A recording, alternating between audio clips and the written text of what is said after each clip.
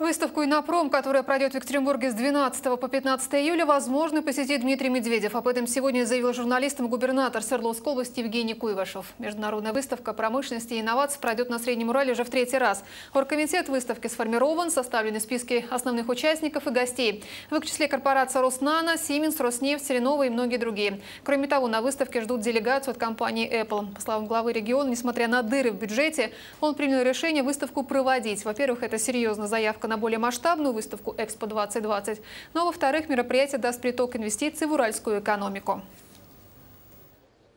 Деньги, привезенные из других регионов в наш регион, имеют совершенно другую стоимость и другую ценность. Это не деньги, изъятые из нашего внутреннего рынка оборота. Гости так или иначе приезжают, оставляют деньги в гостиницах, э, э, кушают, обедают в наших кафе и ресторанах, так или иначе покупают сувениры. И очень здорово, если еще они подписывают контракты. Это очень серьезный стимул.